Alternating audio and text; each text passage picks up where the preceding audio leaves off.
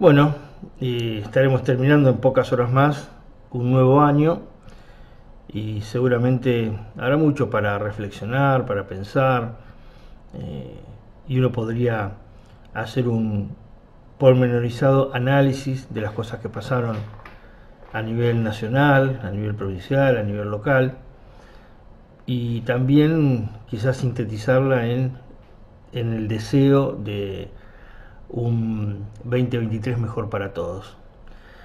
Como es habitual en nosotros, como nos parece que corresponde, por el rol que nos toca desempeñar, por la tarea que eh, ustedes nos han asignado, eh, siguiéndonos todo el tiempo, acompañándonos, enviándonos material, me parece que también no les obliga, vale la pena quizás dejar una, una reflexión, no sé si más profunda, eh, ¿quién puede hablar de la profundidad en cada palabra? Sino la que nosotros le demos de acuerdo a nuestro nivel de pensamiento. Pero sí, por lo menos dejar sentado un pensamiento eh, que siempre tiene que ver con la mirada de el vaso medio lleno. Eh, si queremos mirar el vaso medio vacío, seguramente tendríamos varias horas para reflexionar y la idea es quizás dejar sentado una reflexión, porque ahora no hay cosa que no ocurra en este país donde no se mencione el triunfo en la Copa del Mundo. La verdad que este, es como eh, la muletilla que todo el mundo pone y nosotros eh, vamos a utilizar quizás esa situación para dejar sentado nuestro pensamiento. Qué bueno que muchos millones de argentinos eh, hayan salido a la calle, eh, hayan podido festejar, eh, como dicen algunos, por fin una alegría que la dio el deporte, este, pero es una alegría al fin. me parece que habría que tomar como eje, hemos visto en estos días algunas publicidades de algunas multinacionales fundamentalmente, donde hacen hincapié en el triunfo de la selección y cómo somos como país. Y en realidad a mí me da la sensación de que esas son publicidades para aprovechar el momento, ¿eh? este, para el impacto, eh, para tener más ventas, ¿eh? porque si uno tuviese que utilizar, en el buen sentido, este recurso, que fue la masividad del pueblo argentino en las calles, estaría bueno eh, ponerlo quizás en otro plano. Eh, celebrar que la gente haya salido, que mm, haya tenido ese momento de gloria deportiva, pero qué bueno sería también, eh, y si somos tan capaces, sin que nadie nos convoque, sin que nadie nos lleve en un colectivo, sin que nadie nos pague o nos obligue a tener que hacer una manifestación porque eh, tenemos determinado compromiso, si fuimos capaces de salir a la calle eh, de mutuos propio, eh, por esa alegría inconmensurable que es un triunfo deportivo, qué bueno sería que un día, no sé si saliera a las calles, ojalá se diera que muchos millones de argentinos saliéramos a la calle para hacer valer nuestros derechos, para hacer sentir nuestra voz, para poder dejar reflejada nuestra línea de pensamiento cuando nos maltratan ¿eh? como trabajadores. Y cuando hablo de trabajadores, para mí eh, hay distintas categorías de trabajadores, pero todos somos laburantes. El que trabaja en el Estado, el empleado eh, de un comercio, el obrero, pero también es un laburante el de la pequeña y mediana empresa el dueño de un comercio, el dueño de una empresa eh, pequeña, eh, todos aquellos que o realizan un trabajo o son generadores de fuentes de empleo en algún punto y repito para que no queden dudas con la diferencia lógica todos somos aportantes para intentar generar un país mejor. Pero en esto hay una balanza que no está equilibrada. Eh, desde hace muchos años que esta balanza no está equilibrada. Y esto no es solo responsabilidad eh, ni del poder político, ni de un partido político. Algunos tendrán más, otros tendrán menos responsabilidades, pero eh, en realidad esa balanza está inclinada en favor de los que pregonan un modelo de país y que están del otro lado del mostrador sentados cómodamente o en un consejo deliberante, en una intendencia, en, una gobernación, en la presidencia de la nación, en el Congreso Nacional, tiene la balanza inclinada en su favor porque son los únicos que en todos estos años de democracia nunca tuvieron un ajuste, y nunca padecieron la inflación, nunca padecieron recortes. Digo, el poder político el que nos gobierna, desde el oficialismo, desde la oposición, los que quieren llegar, eh, esos de una u otra forma siempre han estado este, medianamente bien, mientras que muchos otros ni siquiera lograron llegar a estar medianamente bien. Por lo tanto, eh, esa balanza, si un día todos y cada uno de nosotros eh, la quisiéramos equilibrar, lo podríamos hacer.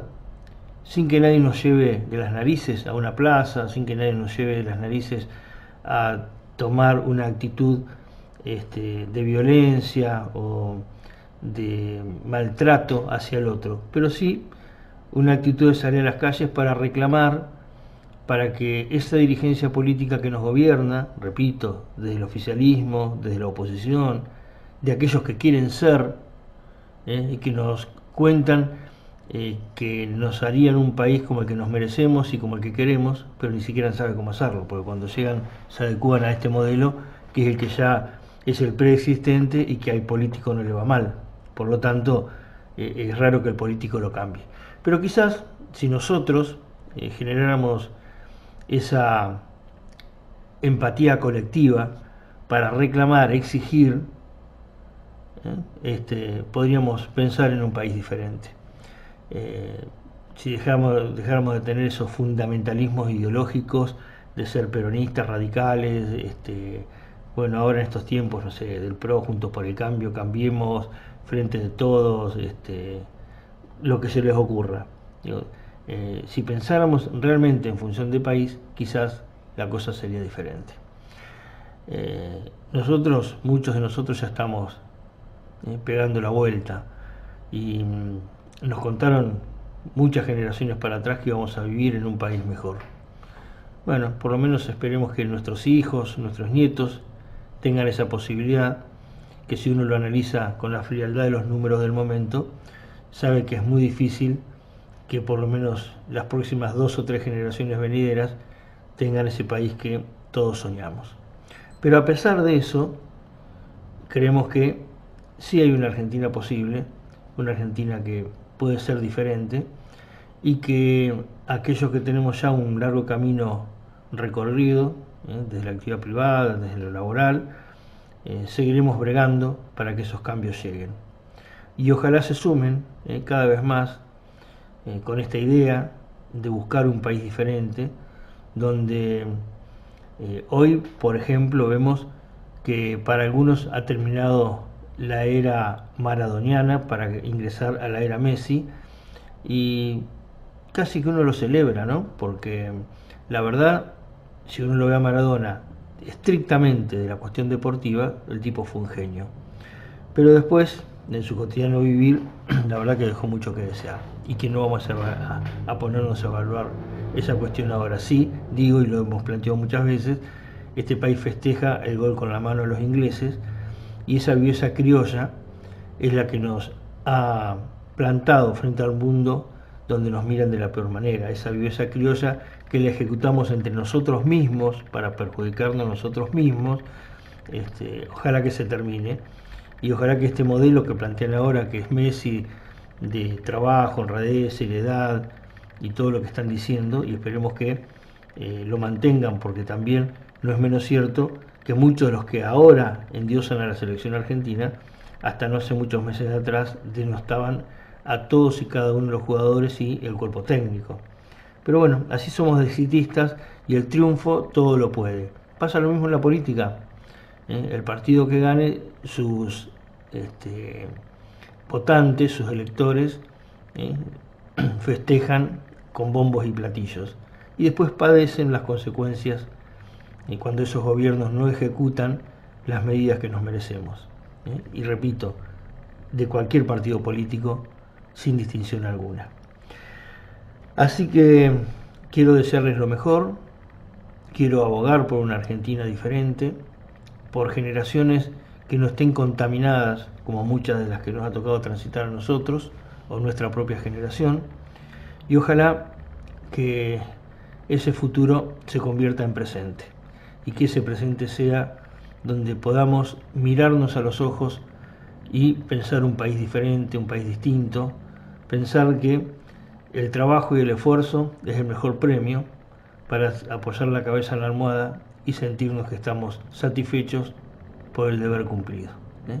Que la ventaja, que el negociado, las cuestiones que nada tienen que ver con el ir por el buen camino, queden atrás, que queden como cosas del pasado, que no se repitan y que encontremos el mejor camino desde todos los sectores y todos juntos, ¿eh? sin distinción de partidos políticos, religión, nada, que pensemos en función de país y que todos juntos ¿eh? le demos un destino diferente, con sacrificio, con verdad, con justicia, con honestidad, con transparencia, con el mejor camino posible.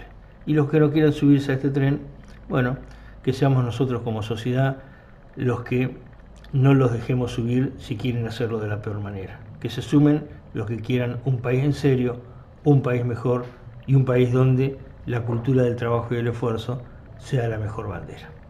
Feliz año para todos, gracias por estar del otro lado, gracias por suscribirse a Mapuchito Noticias, por seguirnos en las redes, por seguirnos en la radio, por todas y cada una de las cosas que hacen por nosotros a lo largo del tiempo. Eh, para nosotros es un honor trabajar para todos y cada uno de ustedes. Gracias por todo.